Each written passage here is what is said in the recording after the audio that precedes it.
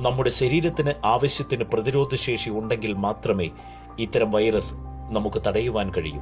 അതിനാൽ തന്നെ ശരീരത്തിന് പ്രതിരോധ ശക്തി കൂട്ടുവാനുള്ള ചില മാർഗങ്ങളെക്കുറിച്ച് എത്നിക് ഹെൽത്ത് കോട്ട് വിശദീകരിക്കുന്നു. Balanced diet. ആദ്യമായി വേണ്ടതും ശരീരത്തിന് അത്യാവശ്യവുമായ ഒരു ഡയറ്റാണ് ബാലൻസ്ഡ് ഡയറ്റ്. അന്നജം കൊഴുപ്പ് പ്രോട്ടീൻ എന്നിവ വലിയ അളവിൽ പ്രതിരോധശേഷി കൂട്ടുവാൻ ആവശ്യമാണ്. പാൽ പച്ചക്കറികൾ ധാന്യങ്ങൾ പഴവർഗങ്ങൾ മുട്ട മാംസം മത്സ്യം ബീൻസ് തുടങ്ങിയ ഭക്ഷണങ്ങൾ കഴിക്കാവുന്നതാണ്. കീറ്റോ ഡയറ്റോ അല്ലെങ്കിൽ മറ്റു ഡയറ്റുകളൊന്നും തന്നെ ഇത്തരമൊരവസ്ഥയിൽ പാടില്ല. Vitamin D.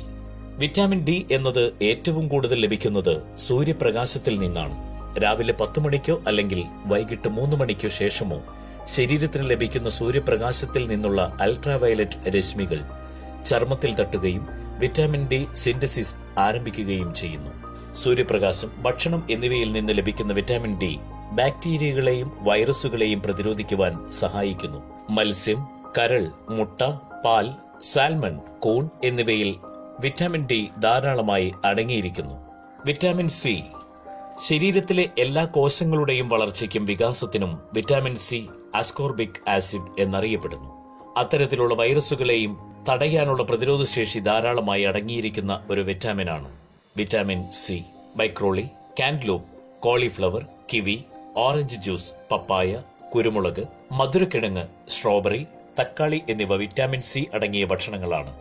Vitamin B six വെള്ളത്തിൽ ലയിക്കുന്ന വിറ്റാമിനാണ് വിറ്റാമിൻ ബി സിക്സ്.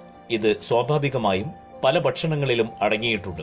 മനുഷ്യ ശരീരത്തിന് രോഗപ്രതിരോധ ശേഷി വർദ്ധിപ്പിക്കുവാൻ ഏറെ സഹായകമാണ് vitamin B six. Vitamin B six അടങ്ങിയ ഭക്ഷണങ്ങൾ വാഴപ്പഴം കശുവണ്ടി പയറുവർഗങ്ങൾ ധാന്യങ്ങൾ മത്സ്യം മാംസം ഓട്സ് ഈന്തപ്പഴം ഉണക്കമുന്തിരി എന്നിവയാണ്.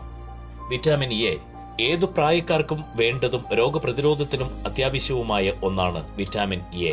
വിറ്റാമിൻ എ അടങ്ങിയിട്ടുള്ള ഭക്ഷണങ്ങൾ മധുരക്കിഴങ്ങ് ക്യാരറ്റ് ബ്രാക്കോളി മത്തങ്ങ പേരയ്ക്ക തണ്ണിമത്തൻ ചീര മുട്ട പാൽ ധാന്യങ്ങൾ എന്നിവയാണ്. ഉറക്കം ഏറ്റവും അത്യാവശ്യമായ ഒന്ന് തന്നെയാണ് ഉറക്കം. നന്നായി ഉറങ്ങുന്നത് നിങ്ങളുടെ മാനസികവും ശാരീരികവുമായ ആരോഗ്യത്തെ നിലനിർത്തുവാൻ സഹായിക്കുന്നു. ഇനി എങ്ങനെയാണ് ഉറങ്ങേണ്ടത്? നവജാത ശിശുക്കൾ പതിനാല് മുതൽ പതിനേഴ് മണിക്കൂറെങ്കിലും ഉറങ്ങണം. ആറ് മുതൽ എട്ട് മാസം വരെയുള്ള കുട്ടികൾ പന്ത്രണ്ട് മണിക്കൂർ മുതൽ പതിനഞ്ച് മണിക്കൂർ വരെയും. പ്രീ സ്കൂൾ ഒൻപത് മണിക്കൂർ മുതൽ പതിനൊന്ന് മണിക്കൂർ വരെയും. ടീനേജ് എട്ട് മണിക്കൂർ മുതൽ പത്ത് മണിക്കൂർ വരെയും. മുതിർന്നവർ ഏഴ് മണിക്കൂർ മുതൽ ഒൻപത് മണിക്കൂർ വരെയും വയോധികർ ഏഴ് മണിക്കൂർ മുതൽ എട്ട് മണിക്കൂർ വരെയും എന്നിങ്ങനെയാണ് ഉറക്കത്തിന്റെ മണിക്കൂർ കണക്ക്. വെള്ളം. നമ്മുടെ ശരീരകോശങ്ങളിലേക്ക് ഓക്സിജൻ എത്തിക്കാൻ വെള്ളം സഹായിക്കുന്നു. ഇത് ശരിയായി പ്രവർത്തിക്കുന്ന സിസ്റ്റങ്ങൾക്ക് കാരണമാകുന്നു. ശരീരത്തിൽ നിന്ന് വിഷവസ്തുക്കളെ നീക്കം ചെയ്യുന്നതിലും അത് പ്രവർത്തിക്കുന്നു. അതിനാൽ വെള്ളം കൂടുതൽ കുടിക്കുന്നത് ശരീരത്തിലെ വിഷവസ്തുക്കളെ കെട്ടിപ്പടുക്കുന്നതിനും രോഗപ്രതിരോധ വ്യവസ്ഥയെ പ്രതികൂലമായി ബാധിക്കുന്നതും തടയുവാൻ സഹായിക്കും. ഒരു ദിവസം എട്ട് ലിറ്റർ വെള്ളമെങ്കിലും കുടിച്ചാൽ മാത്രമേ ഇത്തരത്തിലുള്ള വൈറസിൽ നിന്നും പ്രതിരോധിക്കുവാൻ കഴിയുകയുള്ളൂ. വ്യായാമം. വ്യായാമം ചെയ്യുന്നതിലൂടെ പതിവ് ശാരീരിക പ്രവർത്തനങ്ങൾ നിങ്ങളുടെ പേശികളുടെ ശക്തി മെച്ചപ്പെടുത്തുവാനും സഹിഷ്ണുത വർദ്ധിപ്പിക്കുവാനും കഴിയും. ദിവസത്തിൽ മുപ്പത് മിനിറ്റ് അല്ലെങ്കിൽ ആഴ്ചയിൽ നൂറ്റി അൻപത് മിനിറ്റ് എന്ന കണക്കിൽ നിങ്ങൾക്ക് വീട്ടിൽ തന്നെ ചെയ്യാവുന്നതാണ് വ്യായാമം. ഇനി പ്രതിരോധശേഷി നഷ്ടപ്പെടുന്ന സോഡ പുകവലി മദ്യം മധുരപാനീയങ്ങൾ തുടങ്ങിയവ ഒഴിവാക്കുവാൻ ശ്രമിക്കുക. കാരണം ഇത്തരം വസ്തുക്കൾ ഉപയോഗിക്കുന്നത് കൊണ്ട് യാതൊരു കാരണവശാലും നിങ്ങളുടെ പ്രതിരോധശേഷി കൂടുകയോ ഇത്തരം വൈറസുകൾ വരാതിരിക്കുകയോ ഇല്ല. പകരം വൈറസുകൾ പെട്ടെന്ന് നമ്മുടെ ശരീരത്തിനെ ബാധിക്കുകയും കൂടുതൽ രോഗങ്ങൾ വരാനുള്ള സാധ്യതകൾ കൂട്ടുകയുമാണ് ചെയ്യുന്നത്. അതിനാൽ നല്ല വ്യായാമങ്ങൾ ചെയ്യുകയാണ് വേണ്ടത്.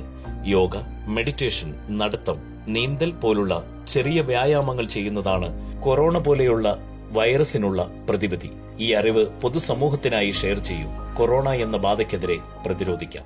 ഈ വിലപ്പെട്ട അറിവ് നിങ്ങളുടെ സുഹൃത്തുക്കൾക്കും പ്രയോജനപ്പെടട്ടെ. ഈ വീഡിയോ ഷെയർ ചെയ്യൂ.